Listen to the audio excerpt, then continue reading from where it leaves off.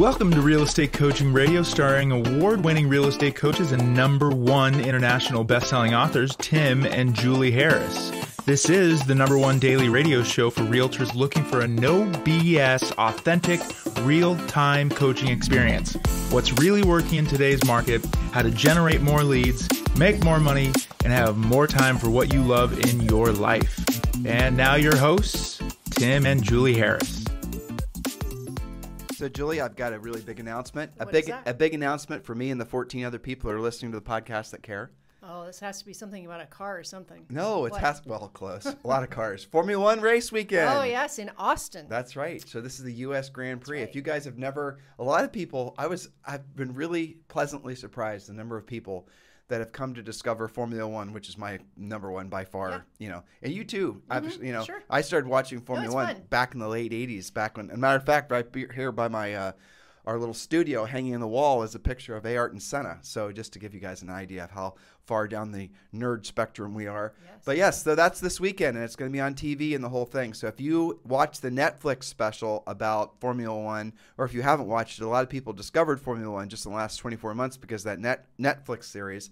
But definitely watch the US Grand Prix. Formula 1 is extremely um, interesting from so many different facets. The, just the obviously the racing aspect, the sport aspect, but really Formula One is it's almost like um, it, if you want to know what's really going to happen next, uh, and not just I was going to say uh, automotive engineering, but engineering on a whole. If you want to see what is going to happen in the you know next 10 to 20 years as far as technology, what what are the how people are going to be viewing transport. It always happens first on in Formula One. That's where hybrids started originally, and then just the whole technological revolution. And I don't want to bore all of you because, like I said, there's probably 16 or 17 of you that care. But if you want to develop a new obsession.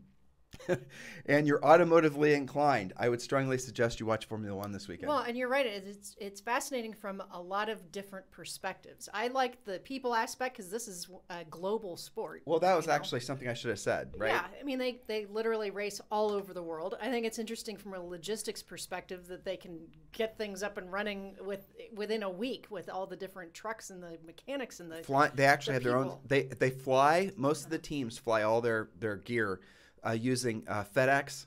And so Oh, FedEx has a army I don't even know it would be an army. It would be a, just a battalion basically Division of for them. 747s and jets that they are are, are custom um, to take all the Formula One teams and fly from one. crazy. But the, yeah, you actually touched on I think one of the other things you and I really enjoy about it is the fact that it's a global sport, mm-hmm. and it's sometimes every weekend they're in a different area, but sometimes it's every two weekends, but a different area, not just the United States, but of the world. Yeah. And so you you'll see them go from Bahrain to like over to Singapore to then they'll be down in Australia. I mean, they don't go in that order, but you guys get the idea. So it's a it started out as a European sport, but now it's a global sport, and so you get to see. And Julie and I've been to a lot of races around the world, and when you go to these different places, you get to see essentially the different cultures, and just it's fascinating. Well, even think. the award ceremonies can be very different. You know, Yeah. like, Oh, like yeah. who's awarding and what the trophies look like, and then just you know the physics of the whole thing and the engineering is really fascinating. So even if you just dabble in it a little bit and, and catch a race or two, I think the Austin Grand Prix this weekend is a really good sampler because it's such a fun race. Well, like in uh, Russia, when the Russian Grand Prix, it was like Putin that was Yeah. hand, handing out the Crazy, trophies, right? and then in um, you know Monaco, it's the uh, it's it, it's a The royalty. the royal family was giving out the trophies, and here in the United States, I, I think it's going to be Michael McCon or uh, Matthew McConaughey. That's awesome. I mean, it just it's just weird. You know, the whole thing is incredible to watch, but Some- it is something fun. to expand your horizons It's with. a, it's basically a big traveling circus. But yeah, so if you're looking for something to do on Sunday, definitely watch that. It's uh, taking place in Austin. And uh, Julie, I think I mentioned to you, they are going to have another Formula One race in the United States hmm. in Miami. awesome. And I heard, I hear tale that they're also thinking about bringing another one to New York, New York, City. yeah. Well, we'll definitely Like get all those. New York City, not upstate or So it'll be like kind of like a Monaco esque In the- city around the buildings. Those are different. yeah, incredible. All right. Well, there you go. There's your homework assignment for expanding your horizons. And we are talking about manners. We are talking, and Julie was motivated to create this because Well, because we have lots of questions coming from you guys. You know, in real estate, you're expected to either handshake, fist bump, hug past clients. What are you supposed to do? What about open house etiquette? What about, you know, Zoom calls or live listing presentations? Vaccine questions, when is it appropriate? Should you talk about that at all?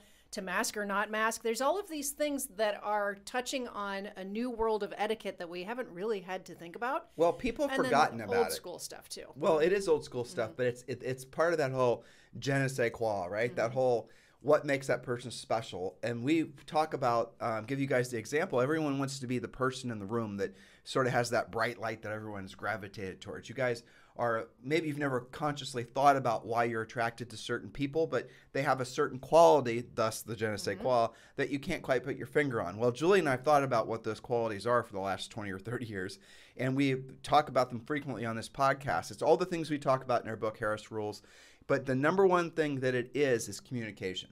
Your ability to ask questions. We, you know, coach you guys in the Ford script and other techniques to get people to want to converse with you. You can make so many more friends no matter what their income is, what their race is, what their mm-hmm. educational level, if you just learn to basically learn a few relatively basic skills. But one of the biggest one truly is your manners. It is. And, you know, that's how people judge you, maybe consciously sometimes and subconsciously other times, where somebody might meet with you. And if you screw up some of these basic things, they're not always going to say, well, it was because they had a terrible handshake or whatever.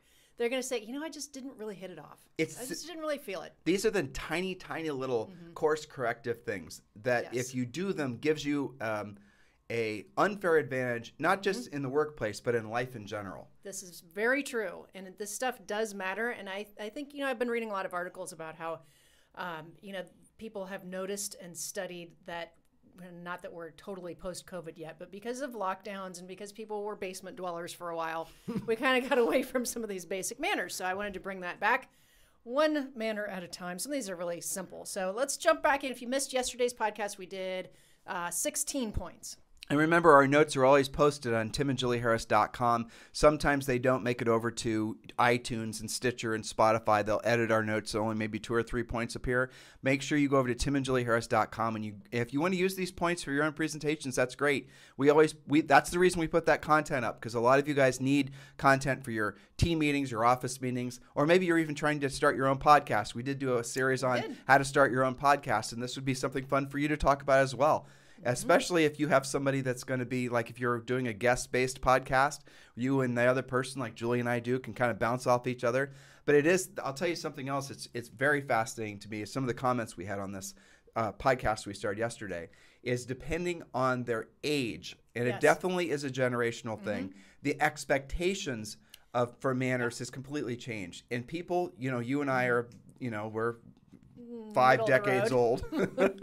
So, but if people are li- uh, younger than us by 15 years, because they weren't largely brought up to have these sort of base level manners, that's true. that when they learn these, when they, so if you're a millennial, basically, we're talking to you, if you learn these base level manners and you start treating people that way, you're going to have actually more of an advantage than people in Julie and I's generation Oh, and yeah. older because we were raised to have Everybody manners. was like that, Right. pretty much. And and COVID did kill off whatever you know. Um, a sen- Civility. civility, right? And you and Yeah. again, and people started deep diving into social networks and lost any you know last remaining know. uh, you know areas of humanity. Especially when you're one on one, you know, when you're live, you know, not just on a Zoom call, but you're actually out there in the wild. So some of these are kind of fun. Some of these are more serious than others. We're going to start with a fun one, which is number 17 smile with your eyes when you're wearing a mask. This is something that's been written on a lot with different manners columns because, you know, people are all masked up and and I think uh, I read something that people are becoming more expressive with their eyes because that's all you've got to go with. Well, you and I are talking about this point as related to our daughter Zoe. Yeah. That kids, even you know, who knows what's going to go on with masking, guys? Who knows what's going to go on vaccines? so we're not going to. what it is. Some of you are thinking, "Oh gosh, why are we still wearing masks?" That's a political conversation that we're not going to have. So just here's the bottom line: When in Rome, do as the Romans do. When Julie and I are driving around the country, trust me when I tell you, one, it's not just one state; it's one part of a state to another. People are uh, essentially ma- masking or not masking. It's really kind of a varied thing. But when you're in a market and, and you're in a business where your job is to help uh, people and be of service to others, and everyone else is wearing a mask, if you're not going to wear a mask, you're going to stand out as being somebody that doesn't quite fit in. You're not in. You're not in Rome being a Roman. You know. Yeah, you need to defer to the people that you're around. It's Yep. about them when But- you're being of service. But to gr- regards to that point, it is fascinating that essentially um, children who are not uh, who are essentially growing up wearing masks are not going to have the the root level psychological development as far as how to how to read micro Social expressions. skills, really. Um, so to really scale this up so people can understand the ramifications of it, there were studies have done, and some of you might remember this because there were horribly sad studies of children that were in um, orphanages in Romania,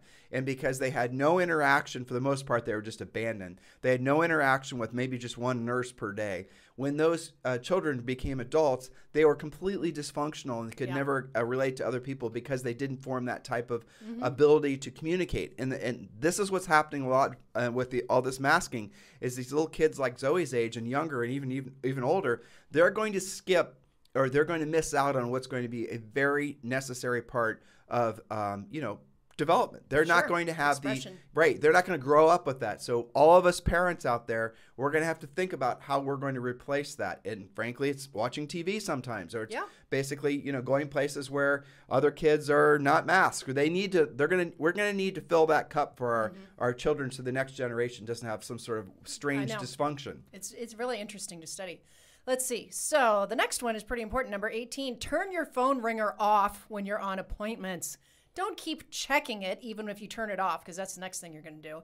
Look at the person who is speaking to you. There's a very basic manner. How many times when we were growing up did our parents say, "Look at me when I'm talking to you"? Well, right? exactly. But people don't. They look around, they look at their phone, they check their their buzzer on their phone. They do like all of this, you know, it's almost like a, a moth to the light kind of thing. Well, just think about this though. If you are again trying to be the best version of yourself as a real estate professional, right?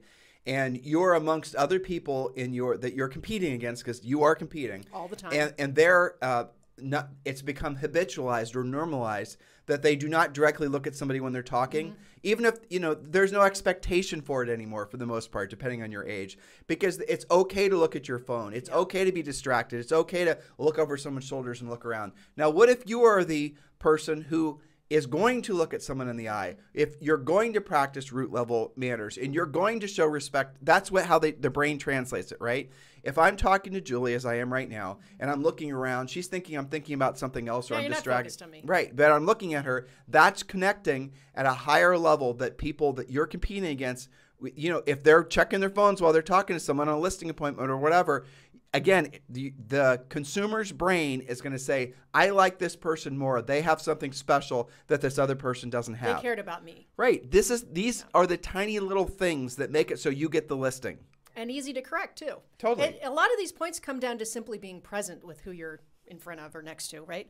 Okay, so turn the phone off. Doesn't it drive you crazy when you're like even at dinner and somebody at the table next to you is their phone's constantly binging? It drives me insane. well but julie when we go to dinner sometimes and you are looking at a couple that are supposedly having a nice romantic dinner and they're updating their instagram or whatever while they're spending you know a couple hundred bucks for a nice dinner i just that doesn't even no bueno. it looks it's It does strange look it's weird. bizarre It does, but it's be, it is unfortunately becoming kind of normal. But what is the what are you telling somebody when you're with them and you're checking your phone while you're with them? Aren't you When telling you're not them, really with them. Right, you're telling them that you are boring, you're not as important as somebody that might be liking some tweet. You're sending all kinds of mixed messages to them, ridiculous. whether they're consciously receiving it as a, a little bit of a put down, or the, but they are definitely receiving it subconsciously as you're not fully engaged. You're not they you don't see them as important enough for you to be completely present with them at that very moment. Again, if you Yeah. guys stop doing stuff like that, as you will see the accumulation effect as you then start developing the reputation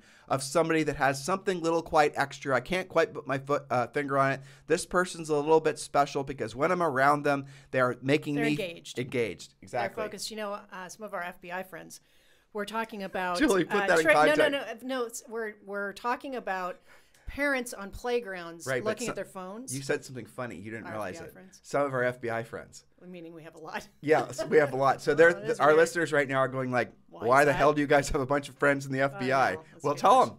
Well, because they're, I guess, what do you call? They're stationed here. They're they're assigned here, Yeah. um, and they're around. I mean, several of them are in uh, parents of of Zoe's classmates, and they're assigned here for different missions. One of one of the one that I'm talking about uh, investigates child abduction and abuse and neglect and stuff. And what they the reason I brought her up is because they talk about how they study parents that are supposed to be like watching their little kids on the playground but they're and one of the the tests that they do to see how much parents are paying attention is they'll run these uh, basically mock kidnappings. Right. So the kid's coming down the slide, the mom or dad's on their phone, not paying attention, and how long does it take for them to notice their kid's missing? Right? So it's not just with adult uh, conversations to be present, it's also around your kids. Well, so you're now touching on. So we, we do have a, a some friends, and their last names actually are Harris, that are both FBI agents, so they're both Yeah. married. So you know, if Julie and I were badasses, we'd be them, but we're not. We're not. so, we just have badass friends. But she, that's right, we do. Yeah. Which, speaking of which, did I tell you next week we're interviewing two Navy Not SEAls, one, but two Navy two, SEAls. two Navy SEAls on this podcast, and we've got Peter Schiff on the podcast next week too. Yeah, Uh, exciting so- week. It is. Um, it's gonna be a lot of work. So, uh, with regards to the FBI folks, Mm-hmm. you and I were having drinks with them, and they were telling us about how they have watched the FBI has watched uh, in videos above Mm-hmm. playgrounds as moms or dads or whatever Uh-huh. will be sitting on their phones, and the predators who are Mm-hmm. literally trying to kidnap their kids. Are watching the parents to see when the parents are on their phones, Yeah. and then distracting the kids, and and they just do it just like that, and it is so fast. That's what really It's was horrible. incredible. But the, the these predator types are so damn fast at snatching children. Mm-hmm. That's and right. and people because they're not present because they're on their damn phones have made it so easy. So these Mm-hmm. Predators go to the playgrounds. They act like they're parents. So they act like they're you know there to Sure. you know pick up a kid or whatever. And they are indeed there to pick up a kid, but not a kid Yeah, that is not theirs. theirs. Yeah. yeah, so put your phone down. Put your damn phone down. Good grief. Yes. All right. So, and you know, it's okay to leave a message. You've all heard them before. If you're, you know, calling and you're hitting my voicemail, leave me a good phone number where I can call you back when I'm not in an appointment. Hey, I'm going to go on another tangent. Yes. Okay. Uh, So tangent warning. Well, it's not a bad one though. Okay.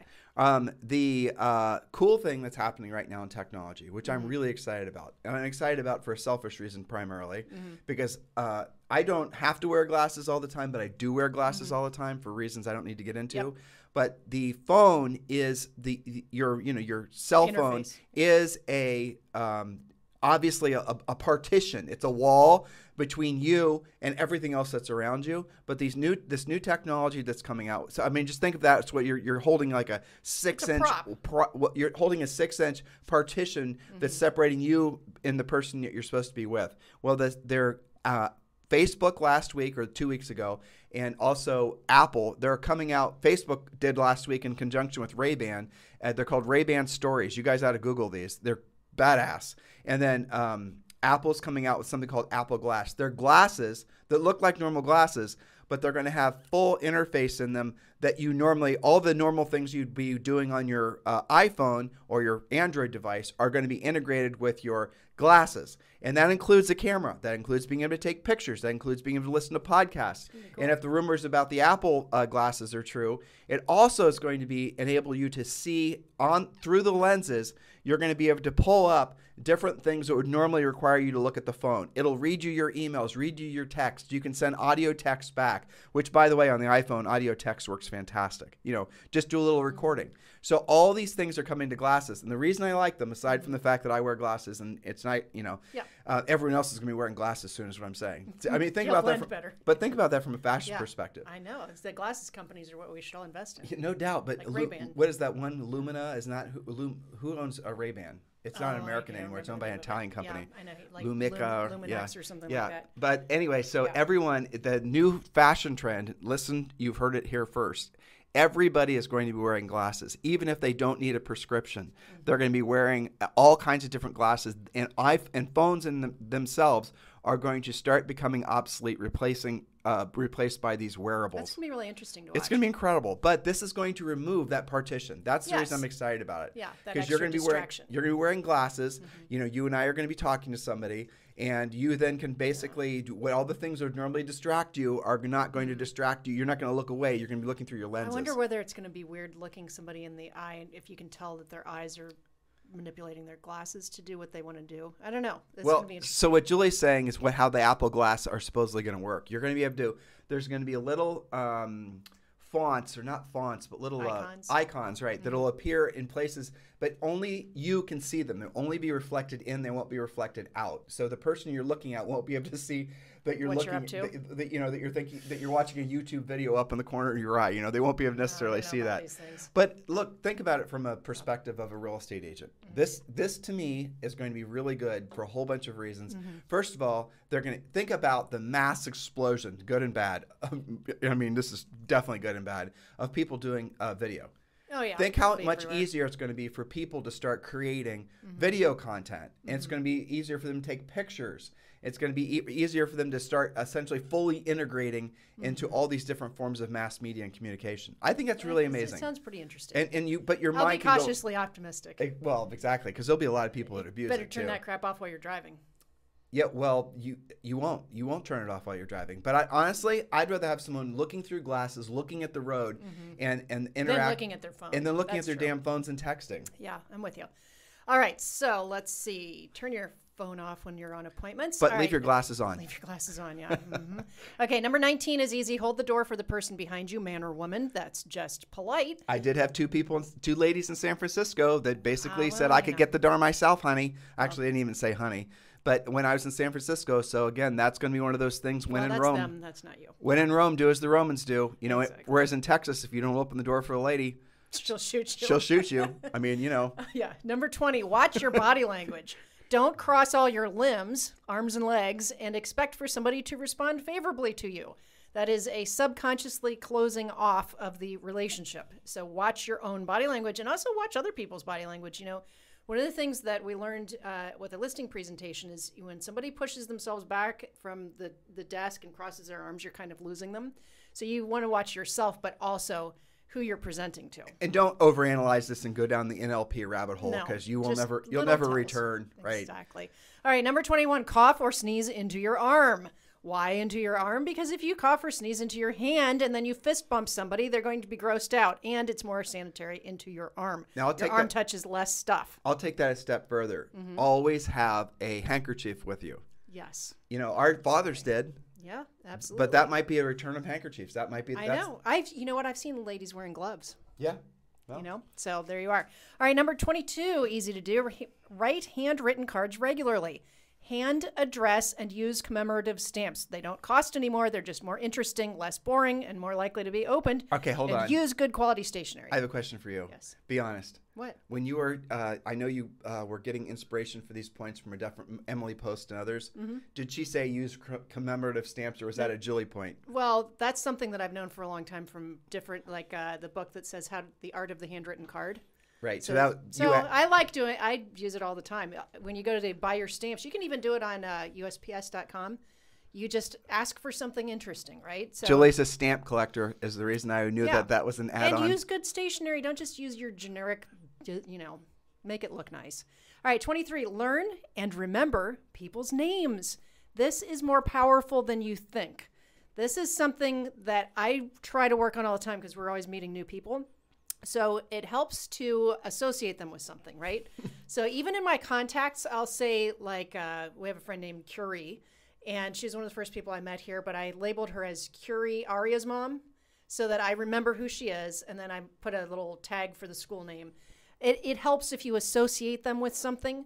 It might be I don't know um, Tim with the red car, ju- just to help jog your memory. So try to remember people's names, their kids' names. I'm way easier with dogs' names for some reason. well, we get rem- people know us as Zoe's parents. We hear I that know. a lot. Yeah, well, They don't you even know our names. We're Zoe's Zoe's parents. We, we've you know we've been out in public here, and obviously when we're walking around taking Zoe someplace, and people will say hi to Zoe, and, and they'll just they don't even know who we are. I know she did it to uh, her friend Maverick this morning when she saw Matt. Oh yeah, She goes, "Oh, that's Maverick's dad." You know, I think that's how they identify all of us. All right. So number twenty-four. This is something people can be awkward about. Take a compliment well. Don't be weird about it. Your scripts are, "Oh, you're so kind to say that," or "What a lovely thing to say." Don't backtrack. Don't be weird about it. Don't make them feel uncomfortable because they complimented you. So get better at that. That's an easy little manner. why are people? And I have this problem sometimes too. Mm-hmm. Why? So why are people sometimes hesitant to take a compliment or receive a gift?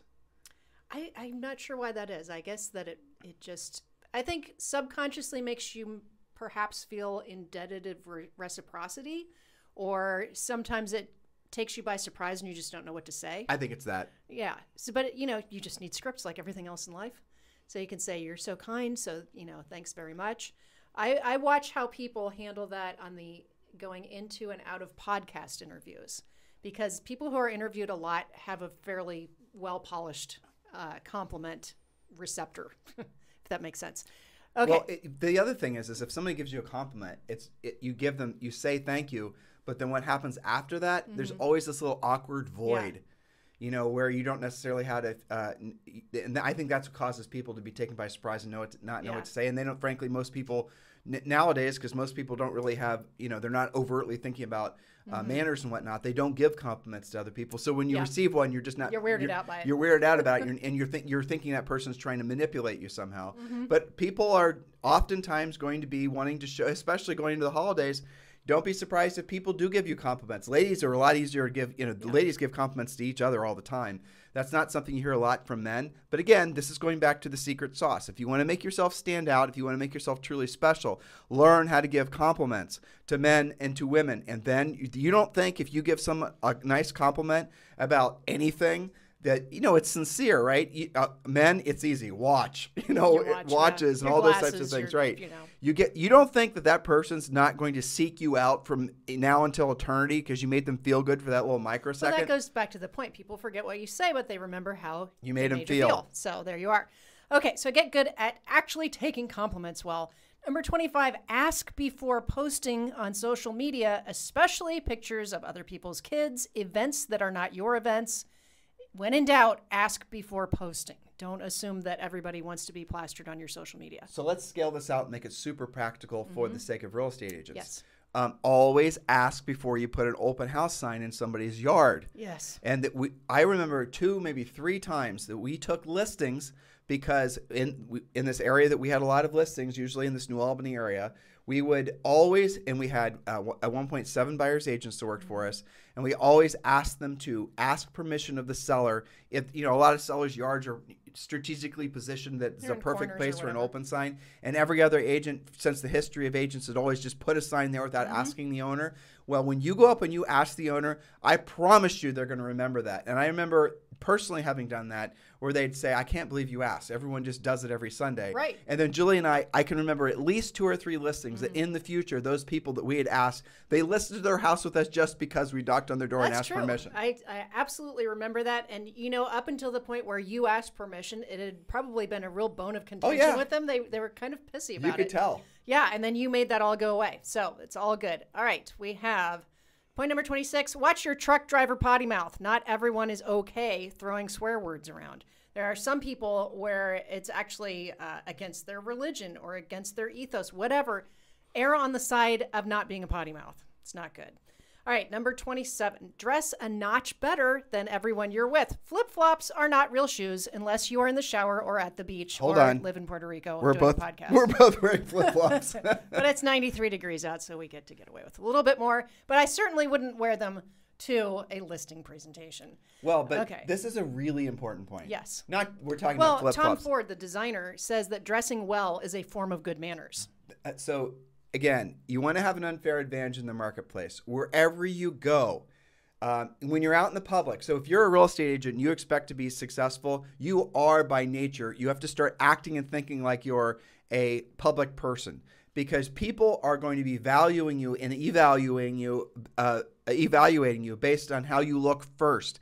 Now, think about this. It only makes sense. If you have a storefront and you're trying to sell pies, it's Bob's Pie Store. Obviously, the storefront's going to have to look great. Otherwise, people are never going to want to go in. And when they go in, then they're going to have a whole, you know the experience even uh, better be even multiplied in the good, in the positive way. But if they if the storefront itself looks like crap, if the you know just you can imagine just you visualize a horrible looking store and it says Bob's Pies, not only is nobody ever going to go into Bob's Pies, but people are going to assume the dude named Bob who owns Bob Bob's Pies is completely out to lunch. Mm-hmm. Now, you don't have a storefront, real estate agents, because really it's a virtual business anymore. You sure as hell don't need an office. So when you are walking around looking like you're some disheveled old building that no one's going to ever want to, you know, consider doing business within, that is how you look. That's I'm sorry, that is the perception that people have when you don't make an, a point of dressing a notch better. Dressing a notch better in every single environment you ever find yourself in. It doesn't even matter if everyone's wearing sweatpants and whatever. Wear nice sweatpants, you know. Yeah, make an effort. You know, it, so this notice. whatever the norm is for your marketplace, take it a step, take it a notch up. There's no place in the United States outside of maybe Manhattan where people wear suits and ties anymore. But if you were to wear a sports jacket and Mm-hmm. a nice shirt, and everyone else is wearing t-shirts, you instantly have set yourself apart. So dressing nice. Now, again, we can drill down on dressing nice. Well, we do in the book. Yeah, read our book Harris Rules, guys, because Julie gives. We spent a lot of time. We Very talked. specific. Yep, we went to. We actually did a shocking amount of research on the whole dressing nice thing because it was interesting. Yeah. But you can just you don't have to spend a lot of nice uh, a lot of money to look really nice. You can buy off the rack stuff. And when Julie and I got into real estate, we bought used stuff. We went to thrift shops and all, and consignment. and All of our But you can, you know, you can do that, save a bunch of money, and get it tailored so Exactly. it actually fits you. That Right. looks a lot better. And, and that should have been a little mini dressing point. Make sure your clothes fit you and don't walk around, you know, looking disheveled or And untucked. again, read the book Harris Rules. It's on Amazon, Barnes and Noble. We've, you know, it's everywhere. It is. It's on its third or fourth reorder. So go ahead and get uh, Harris Rules. It's also available at Audible. You can download it right now and listen to it over the weekend. Exactly. Okay, number 28. This is easy to fix. Don't stand in doorways or in the middle of the grocery aisle. Don't just go in. I sometimes do this when I go into a store I like and I kind of stall out because I'm like stunned. But uh, don't stand in doorways or in the middle of the grocery aisle. That just, you know, is bad manners. All right, number 29. Always accept hand sanitizer when somebody offers. Otherwise, you're saying you're okay spreading your germs. Doesn't matter whether you want to or not. If they're offering it, it- they're showing you that they're sensitive to that. Take the Sandy. And again, don't make it into a political thing, but this actually, you can expand on this point. When you mm-hmm. go on a listing appointment, and again, this is part of our coaching program, and they're always going to offer you something because, you know, well, honestly, depending on the have manners. generation, they may have manners. Always say yes. It doesn't mean you have to consume it. Even if it's a glass of water. Right? We've, know? we went to listing appointments before where it's a listing appointment. We're coming over to talk to you about selling your house, Mr. Seller. And they made dinner. I know. I totally remember that. Yeah, they, those, those, that's it's going to happen. You know what you're going to do? You're, going gonna enjoy, dinner. You're going to enjoy the hell out of the buttered squash, you know, disgustingness.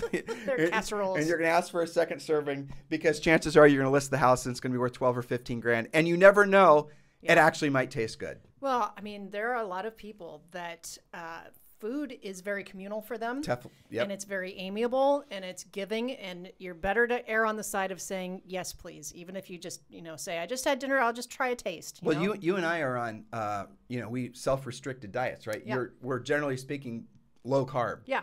And when we are in environments High caffeine. right, high caffeine, and we're in environments where people offer us something that's absolutely not in our normal diet, Plate and of I've made and I've made this mistake before, truthfully. Um, they'll you can see they're a little bit um, Well, they're offended. offended. And it's a, it's not a it's not an overt offense it's a subconscious offense but you can see it in their their facial their micro expressions in their face and it's like I've caught myself doing that before and they'll offer me something that's absolutely not something I'd normally ever consume and I'll and I'll in, uh, just uh, reactively say no thank you but then I'll say oh I'm just kidding. How can I pass up on those? So I catch Yeah. myself. Well, because subconsciously they're giving you a gift, yes you know. So, but I- food food is a different kind of gift It is. especially something that someone's made with their hands Yeah, I mean it's pretty personal. It so is. They, so of course they're offended if you don't do it, if you don't try their cookies or whatever. Okay, so let's see. Number thirty. You don't ask somebody to hold your phone, wallet, or drink for you. This has become taboo thanks to COVID. people ask you to hold your wallet Hold yeah, hold anything of theirs, anything that their hands have been on. You're not Who- supposed to do that. Has anyone That's- ever asked you to hold to hold Yeah, last asked- week last weekend we were at something and and that was going on a lot because people were trying to screw with their phones while they had a drink in their hand. Huh. Yeah, so don't do it. It's just gross. Yeah. All right, number 31, respect personal place, personal space plus 3 to 6 feet. Don't be the last person in an already crowded elevator, for example. Take the next one, respect personal space. Even if you're more comfortable with it for, you know, for your reasons, you've got to respect the space. Number 32, ask permission to use a person's first name and make sure you're pronouncing it correctly. That comes up a lot, right? Uh, let's see. Number 33, push your chair in when you leave a table. Brush the crumbs into a napkin. Don't make somebody else do this for you. We talked about this earlier about bussing your table. But when you're at somebody's house, when you leave the listing presentation dining room table, push your chair in. Well, so you combine some of these points. So you're mm-hmm. at a restaurant this weekend. You're going to leave some crumbs on the table. The uh, and let's say it's a Starbucks. We use Starbucks as examples. There are no busting of tables in Starbucks. Basically, if you're in a busy Starbucks, by the end of the day, the tables look like you know basically our daughters eating at them. So you're gonna have if you are the one that's then uh, and let's just you know there's some you know, let's scale this up. You're at a restaurant and there is a someone busting tables and they do see you uh, clearing off you know cleaning up after yourself and being respectful of the service that they provide and then you do follow our previous point and you do leave a nice uh, a decent tip and you do say thank you on the back of a business card the combination of all those things And then you push your chair in. Right. And then they see you holding the door open for the person behind you when you leave. You're going to come off as a more uh, person of manners, a classy individual, versus being a heathen about all those things. You think you have to try to make yourself special in the marketplace by say, being some sort of influencer on Instagram. This is how you are someone who's unique and special and desirable in the world. You do all you combine all these points and you start becoming that person. And I'll, I'll say it again. It's even relevant for people that are our age and older, but especially relevant for the younger generation. Mm-hmm. They, for the most part, weren't taught these things. There used to be something in the South called cotillion. There are some states that still do it, but you guys know what cotillion is? It's basically finishing school for young men and ladies, where Yeah. they learn how to shake hands and they learn how to be polite. And if you're a, a teenage boy asking a girl out to homecoming, you talk to her father about it first, and you know, manners. So yeah, it's here and there. I, I kind of think it's going to come back a little bit. So listen, we're going to round the bend on today's show. A lot of you have very busy weekends. Um, We'll resume on Monday. We've got a handful of points to go. Right. A lot of you have been asking Julie and I about eXp Realty. And I want to remind you that, of course, Julie and I are here to sponsor you for eXp Realty. If you're interested in joining eXp Realty and you have not chosen a sponsor yet, you can just join eXp Realty and name Julie Harris from Georgetown, Texas as your sponsor, or you can just text me directly and Julie and I will answer any questions you have and walk you through the application personally. So it's and my cell phone number is 512-758-0206. That is my real cell phone number. Do not call. A lot of you call. I'll never answer the phone. It always goes to voicemail and the voicemail says do not leave a voicemail. It says text, okay? So do text, don't call and let's have a conversation about EXP. So if you're ready to join and you're looking for a sponsor, just text me directly at 512-758-0206. If you're just interested in learning more about EXP, that's great as well. Just text the letters EXP to 47372 and we'll text you back some videos and you can get to know EXP and decide whether it's the right path for you when you're choosing a new real estate broker. This is the time of year when most choo- agents will just, you know, they're going to think about what do I need to do to replicate this great year I had this year or make it better? Maybe this year wasn't as great as it would have been otherwise. And you're kind of going through the checklist of things that you want to improve upon before the new year rolls around. Number one thing should be the broker. There's no doubt about that. Your environment, your professional environment, is without a doubt the most important influencer on your um, success in real estate or in life in general. Yep, definitely matters. So, yes, you have lots of homework. Put a check mark next to the things that you do really well that we've talked about, and maybe write some notes to yourself, remind yourself about the stuff that you want to improve on, and practice it this weekend. You guys have a fantastic day. We'll talk with you on the show on Monday.